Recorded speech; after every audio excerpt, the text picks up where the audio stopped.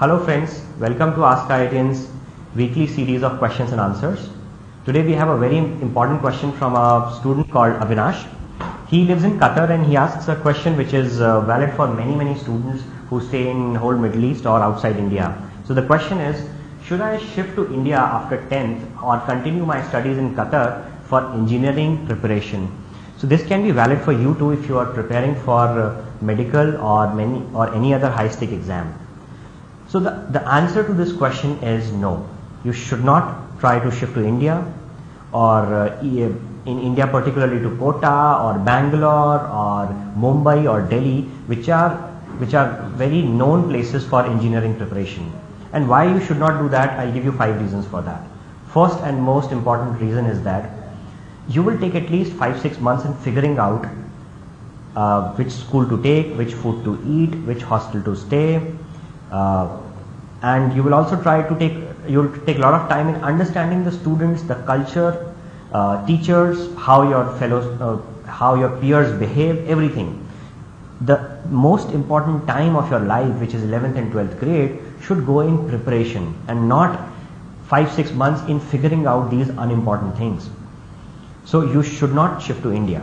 Another very very important reason which I give for my the support of my answer is that when you shift somewhere else, maybe India or somewhere else, you will break your family.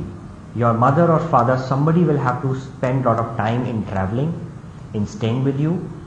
Your brothers and sisters will stay separate. Your grandparents will be uh, staying separate from you. So this is like breaking your family. In the most crucial days of your preparation, you need to be with your family for emotional and mental support because this support is equally important as far as academic support is concerned.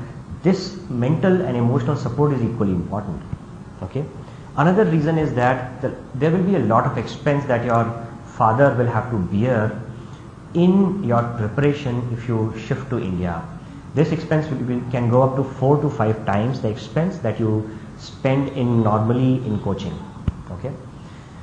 Uh, when you shift to a new place, the preparation will be totally focused for the exam, like uh, whatever exam you're taking. So definitely your board preparation will go down. You will, you are liable to score less in board exams. Okay, so keep that in mind.